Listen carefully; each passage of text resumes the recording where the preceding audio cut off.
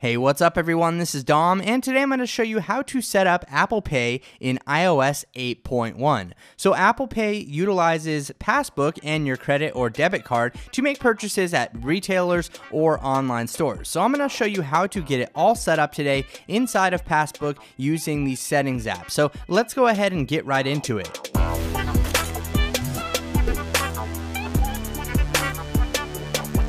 Setting up Apple Pay is pretty simple, but I'm going to walk you through the steps here. And the first thing that you're going to want to do is go into the settings app and find the Passbook and Apple Pay option. So you can see that right here. It's right underneath iTunes and App Store. We have Passbook and Apple Pay. Go ahead and tap on that, and it's going to take us into the Apple Pay setup section. So as you can see, we have various categories here. At the top, we do have our cards that are available. I have no cards available right now. We have the option to add a credit or a debit card, and then then under that, we have our transaction defaults, such as the default card, billing address, shipping address, email, and phone number. So starting out here, obviously, we are going to want to add a credit or a debit card, and all you have to do is tap on that option there. It'll take you to the next page where you can either use a card on file with iTunes or a different credit or a debit card. And obviously, it'll be easier for most people to just use the card they have on file with iTunes, but you can select the different card option right here and go ahead and enter the details associated with with a secondary card if you'd like to use something other than what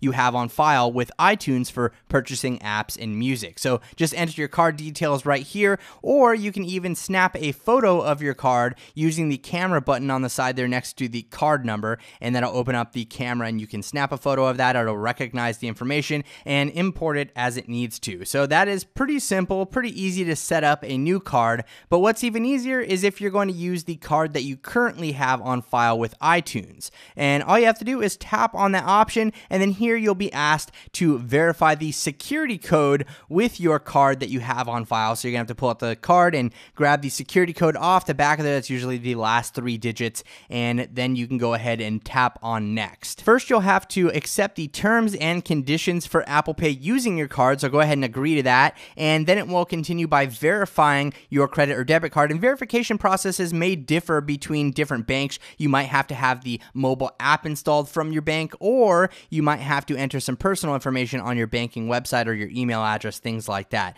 But overall, it's pretty simple for me. And as you can see there, I do have my card added inside of Apple Pay now, and I got a little passbook notification about it as well. And that's pretty much it as far as setting it up goes. After that, you can go ahead and enter your default billing information. You can add it from an existing contact or enter new information, and you have this little wonky form pull up here. So you can go ahead and enter your details and go ahead and tap on done.